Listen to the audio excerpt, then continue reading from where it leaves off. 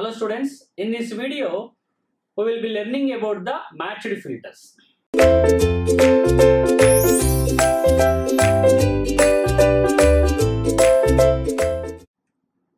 See the problem on matched filter.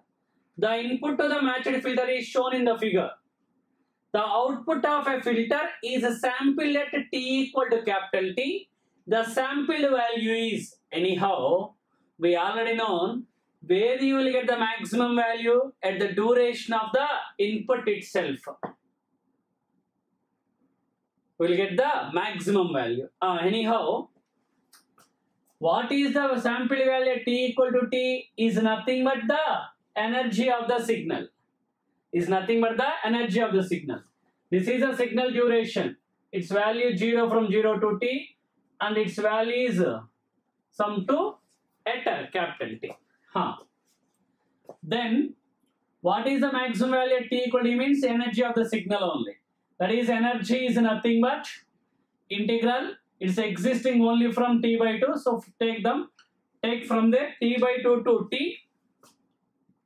Signal value 2 square into dt. That is 2 square is 4 into t minus t by 2 is nothing but t by 2.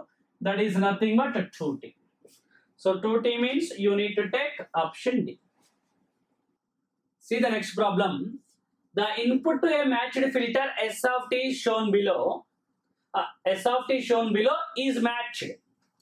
Then calculate output of the filter. We already knows that not only for this problem, for any filter output is input convolution with the impulse response. But here don't think that impulse response is not given because impulse response is nothing but S of capital T minus 1 actually conjugate but it's a real value signal only. Capital T is called duration of the S of T which is given for 2 seconds. S of T given calculate S of 2 minus T. How to get? First get S of T plus 2. How to get a T plus 2 sir? Subtract 2 from all the T values. From the signals we learn it. Subtract 2 from all T values. Then how to get S of minus T operations are? Multiply all T values by negative sign minus 2 will become plus 2.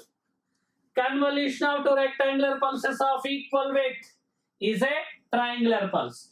Lower limit is equal to sum of the two lower, upper limit is equal to sum of the two upper. Lower limit means leftmost point, upper limit means rightmost point. How to get this amplitudes are?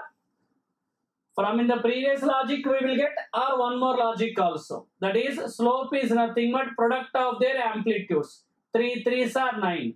1 unit of time they can rise up to 9. 2 units of time up to 18. Or we already know its peak value is nothing but energy of the signal. 9 into 2, 18.